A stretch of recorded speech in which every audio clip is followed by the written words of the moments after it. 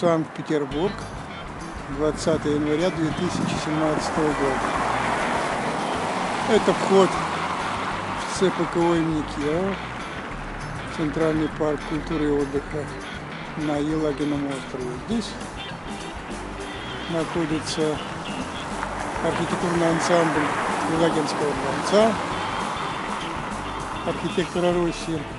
Зимой работает каток, прокат лыж, финских саней. По выходным вход платный, 100 рублей. Каток бесплатный. Попасть на Елагин остров можно от метро Крестовский остров, вот там, и с обратной стороны метро Старая деревня.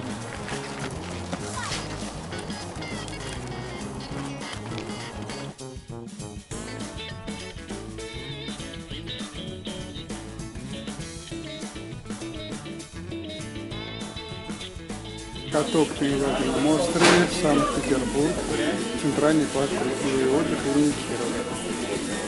Здесь раздевалка.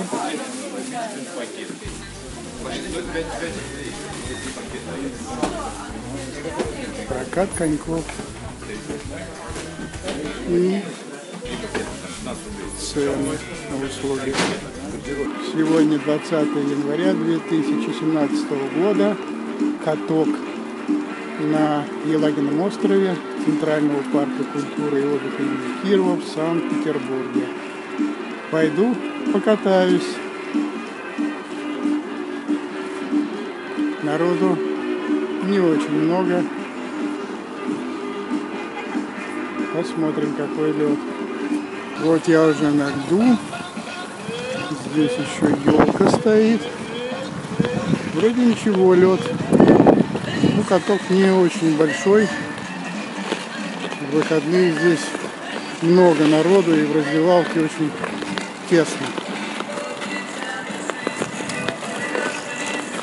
Хотя сейчас вот пятница, где-то половина четвертого времени. Народу не очень много.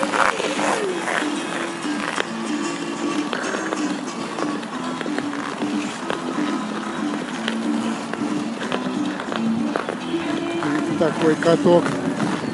Сегодня погода солнечная. Не холодно, где-то минус 2 температура. Пишут, что каток работает только при минусовой температуре. Ну и здесь вокруг ансамбль Елагина острова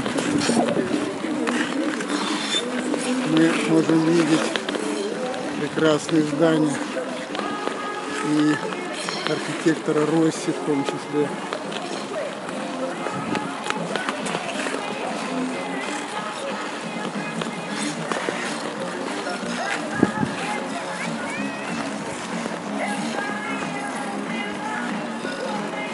Покатался полчасика, ну, поскольку народу немного, Катание доставило удовольствие. Спасибо, каток. Здесь вот такое это раздевалка, здесь кафе, несколько передвижных павильонов. Можно попить чаю, кофе.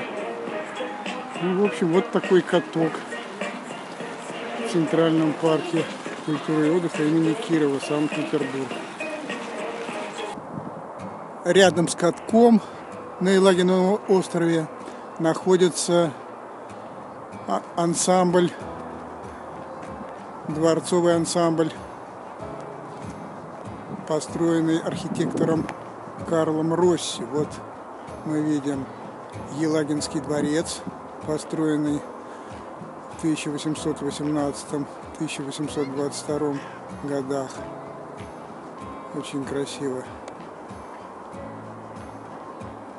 Здесь постоянная выставка художественного, стекла сейчас находится. Здание оранжерей.